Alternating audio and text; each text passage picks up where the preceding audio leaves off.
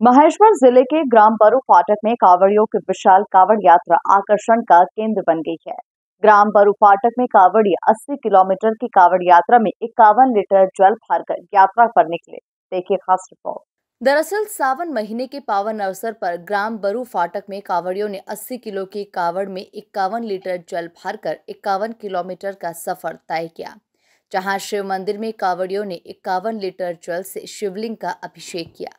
जलाभिषेक के बाद हनुमान मंदिर में कावड़ियों ने भोजन प्रसादी ग्रहण की। आपको बता दें कि महेश्वर के बरुफाटक ग्राम में पिछले नौ वर्षों से इस प्रकार की अनोखी कावड़ यात्रा निकाली जा रही है।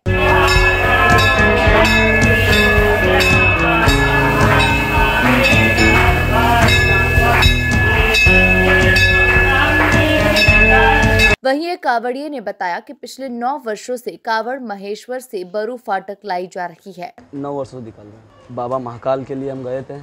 महाकाल के लिए इक्यावन लीटर जल लेके आए वहाँ से हम। महेश्वर से हम निकले थे कल निकले थे और आज आए थे को महेश्वर से। इक्यावन किलोमीटर की यात्रा ये कावड़ थी अस्सी से सत्तर से अस्सी किलोमीटर अस्सी किलो की कावड़ थी। इक्यावन लीटर। किस तरह रही आपकी इक्यावन किलोमीटर की यात्रा? बहुत बढ़िया रही। बाबा का आशीर्वाद था। बहुत बढ़िया आया हम।